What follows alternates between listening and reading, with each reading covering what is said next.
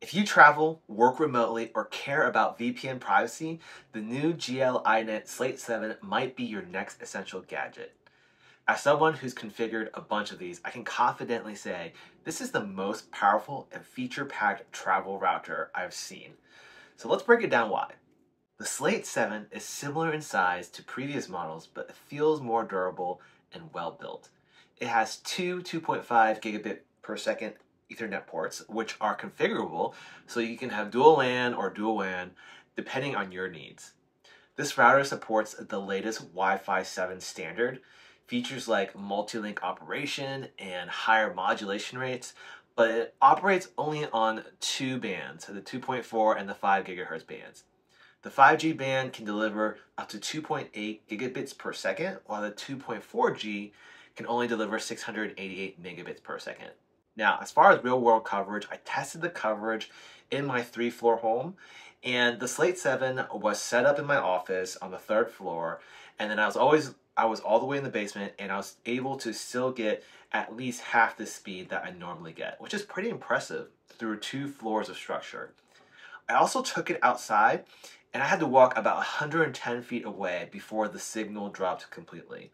Now, in that range, I could probably provide solid internet coverage to at least seven of my neighbors' homes for a travel router. This is pretty wild. GL.iNet uh, delivers with this particular router, and I love that it comes with an adapter and multiple plugs that can fit into multiple different outlets. So, if you're in a hotel, Airbnb, or cabin space, uh, this is perfect for people who are traveling.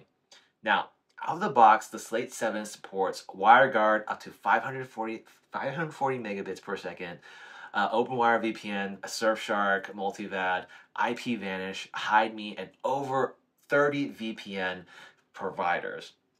This is also great for uh, people who like, like, to travel on a cruise, for example. I recently got back from a Disney cruise and they're trying to charge me $46 per device per day.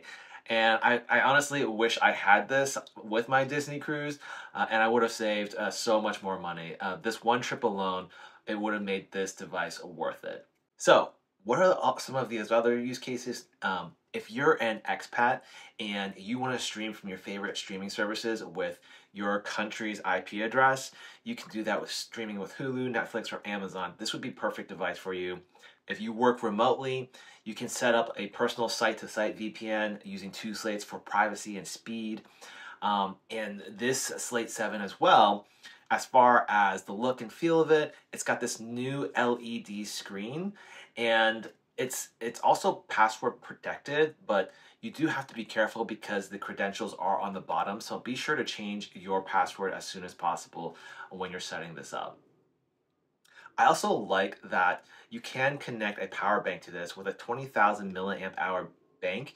You can run this for about 12 to 15 hours, which is a perfect for a travel day. So in conclusion, if you are a traveler, someone who works remotely, um, or you're just looking for additional VPN privacy or even just better coverage in general compared to your existing network, this might be the right choice for you. I think it's a smart investment that I've made, and hopefully that this was helpful for you. Thank you and have a great one.